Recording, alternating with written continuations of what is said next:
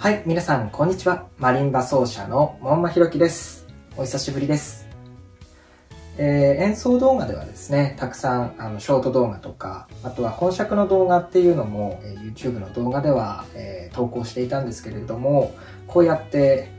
楽器をバックにしながらですね、あの、こうやってね、お話しするっていうのは本当に久しぶりで、え皆さんいかがお過ごしでしたでしょうか。え演奏のみでね、あの楽器がね、こう全部映るような角度でショート動画を、えー、投稿しておりましたが、えー、こうやってね、トーク久々だと思います。えー、こういった動画もこれから、え、配信というか、え、投稿していきたいなと思っておりますので、ぜひ、えそちらもお楽しみください。え今回は、え演奏会の告知ということで、こちらのコンサートの内容をお知らせする動画としてですね、投稿させていただいております。自主企画のコンサートはですね、えー、なかなか今まで企画ができていなかったんですけど、また久しぶりにコンサートをすることになりました。1回目は6月にね、演奏会企画させていただきましたが、30名限定ということもあり、すぐソルドアウトをしてしまったんですね。で、それで今回の第2回目、えー、旅というテーマで、えー、マリンバのソロコンサートをさせていただくこととなりました。これも期間的にはですね、来週の日曜日、10月の15日日曜日に開催予定です。マリンバの音色とともに、旅をする音楽の旅ということで、いろいろな世界を巡りながら、えー、いろんなところにね、行ったりとかしながらですね、楽しんでいただけるような、えー、コンセプトのコンサートとなっております。演奏曲目今決まっている段階ではですねイリアーシュというマリンバのソロの作品。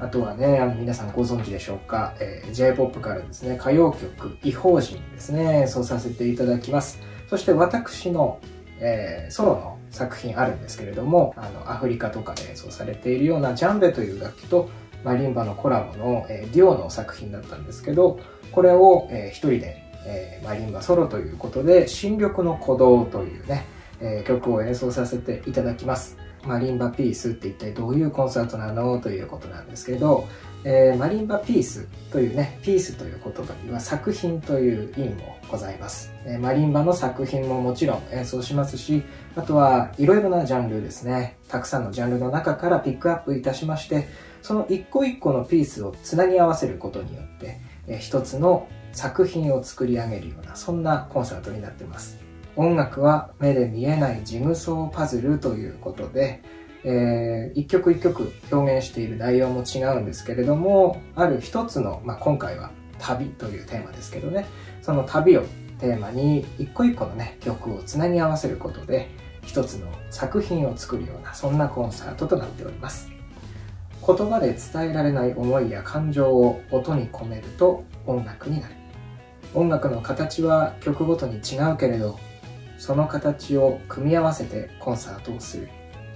大きな木琴マリンバで奏でる。音楽のジグソーパズルということでこのようなね演奏会の企画を年に3回予定しております。2月と6月と10月ということで1回目は6月からスタートいたしましたが2回目は10月15日日曜日ですね。こちら会場はパレット大崎みんなの部屋というね、ちょっと多目的スペースがあるんですけど、そこでね、演奏会企画しております。限定50名とさせていただいておりますが、要予約となっております。チケットは2500円ということで、えー、内容はですね、下の概要欄の方に、えー、お問い合わせ連絡フォームですとか、あとは詳細の Facebook ページもございますので、そちらで、えー、どんどんとね、あの情報を公開してまいりますが、期間がね、来週の日曜日ですので、皆さん、えー、ご興味がありましたら、お近くの方はですね、えー、チケット、えー、予約していただけると嬉しいです。それでは今日はこの辺で。バイバイ。